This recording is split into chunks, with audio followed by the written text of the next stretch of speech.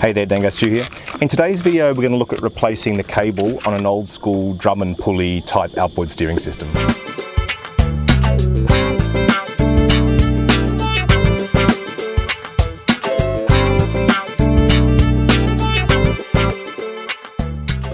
This is the type of steering I'm talking about, where you've got this spiral drum attached straight to the shaft of the helm.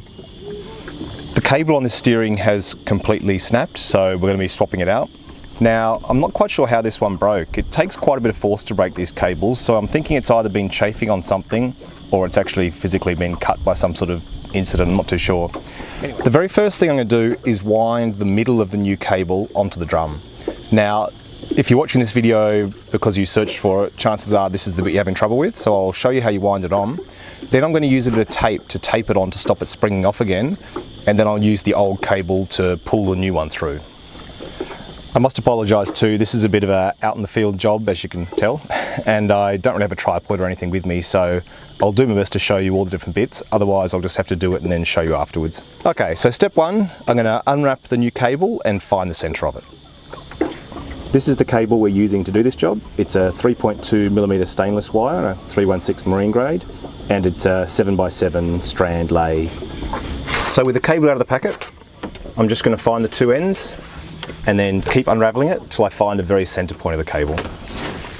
Once you've found the middle of the cable by folding it in half essentially, I'm now going to lay this center part lengthways down the groove along the center of the drum. So I'll show you that. Here's the drum here on the end of the helm. So it's just on the shaft of the helm here, it rotates. And what you'll notice is that it's got this spiral groove coming around it and then this straight groove down the center. So the very first thing we need to do is take the middle of the cable and lay it down this straight groove. Now it can't lay straight through because it's got these end flanges, but when it comes to the end, I'm going to have the section here at the back or the sort of aft end of this drum heading off here to the port side of the boat and the section here at the forward part of the drum heading off to the starboard side of the boat. Now you know it has to go starboard here because this groove, if you head port, just disappears to nothing and up this side you know it needs to head this way off to the port side of the boat because the groove here just heads to nothing. So you're running the cable, the center of the cable, down through here and then off to the side where the spiral groove continues. So I'll do that and I'll show you what it looks like. So where we go. So there we go, that's step one. Down through the center groove and then off to the two sides. Now what I'm going to do is I'm going to turn the helm to starboard like this and that's going to start winding this cable into the groove, the back half or the aft half of the drum.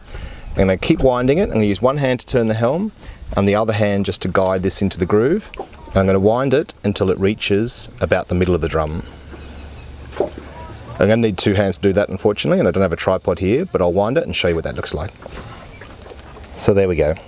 What I do want to do though is I'm going to wind it because I want this cable, so if I hold here and let go, I want this cable to head off to the port side of the boat. Bear in mind I'm facing the stern of the boat now so it's probably a bit reversed for you. But I want it to head off to the port side of the boat from the top of the drum. Now, if I let go of this, as you saw then, it wants to just expand and go straight again. So once I've got it roughly in the position I want, I'm going to put some tape around it just to hold it in place. Now I've got this cable wound onto the aft half of the drum here, I'm going to just wind this forward half on by hand. I can do that here because I've got access to the end of the drum, so I can actually just spiral it round. Once I've done that, I'll tape it up on both sides and then we'll be ready to run the cables round to the back. So what you should end up with then is the very center of the cable going through that longitudinal groove. Then at the back, it's wound around until the center heads off from the top, goes to the port side. The forward part here is wound round as well, gets meets in the middle and heads off to the other side of the boat. So you've got both cables meeting in the middle and then heading off to opposite sides of the boat. So I'll finish taping this up and we'll drag the cables through. So there we go, all wound on, all taped up one cable heading to each side of the boat. What happens now depends a little bit on the layout of the boat.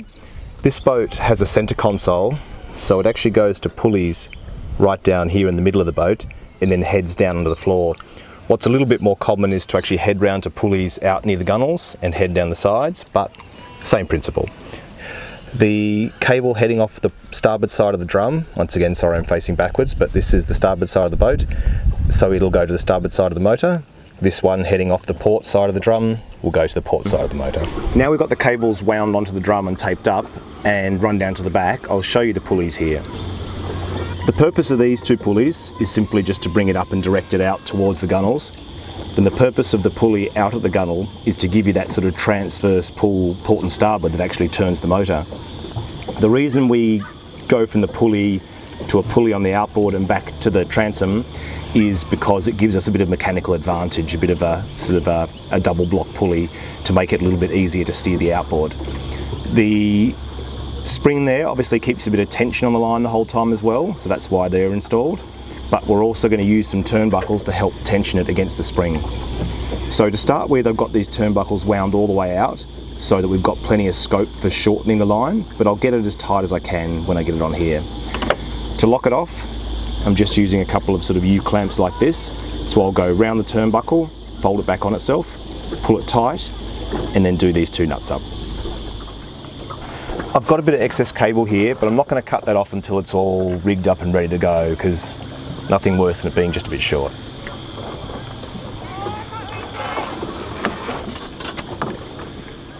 First thing I do is feed this little locking clamp on.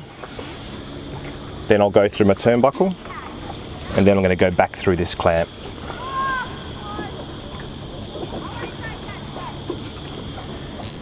Then I'm going to hook this onto the spring and start pulling this cable until it's reasonably taut. So here's everything connected. We've got the spring to the turnbuckle, turnbuckle to the wire, to the outboard, and then onto the helm. So now this has got a bit of tension on it and I'm making sure everything's still in its pulley, it hasn't popped out of any of the grooves. I'll just do up the nuts on this little locking clamp. I'm going to do the same thing on the other side first and then I'll start looking at what tension we've got and whether I'm going to try and pull it a bit harder here or just use the turnbuckle to tension it up. I've got these reasonably tight now by just sort of pulling on the end and locking off this clamp but now I'm just going to use these turnbuckles to just put a little bit more tension in it. You don't want them to be super tight, but you don't want so much slack that it can pop off the drum or pop off any of the pulleys. Uh, is this on camera? Yeah. Do you want a drink or Uh, it won't be long actually, I've almost finished. I'll... Now these wires are reasonably taut, I'm just going to go turn the helm a few times and just see if any extra slack sort of gets introduced into the system as it moves around. Turning the helm now, it feels nice and smooth and the cables seem to both be holding the tension nicely. So here I'd popped the tape off earlier, sorry I forgot to mention that, but once it was all tensioned up I could take that tape off without any risk of it springing off the drum. To give you an idea, a better idea of how these systems work though, I will um, put the camera underneath so you can see the two ends and I'll show you as it turns from port to starboard. So you can see here both cables are meeting at the centre of the drum, which is the midship position. Then as I start turning the helm to starboard, both cables are moving till they meet at the forward end of the drum. And when that happens, most of the starboard cable's been wound out and most of the port side cable has been wound in, which is what pulls the motor over. So that pretty much wraps this video up. I'm going to use some side cutters just to trim up the end of the cable because it's a bit too long. There are some special sort of curved cutters you get for stainless steel wire, just don't have any with me, so side cutters are fine. I'm also going to look at uh, replacing those turnbuckles because one end of them is a hook and I'm not a big fan of that because they can pop off. I'd rather have a ring at both ends and then just put a shackle at the other end to make sure it can't come off because if it pops off, nothing stops the outboard just spinning to one side quite violently if you happen to be travelling at speed. So something to be really careful about. Well, thanks for watching. I hope this video helps you if you're doing one of these cable installs. Have a great holiday and I'll see you next time. Bye.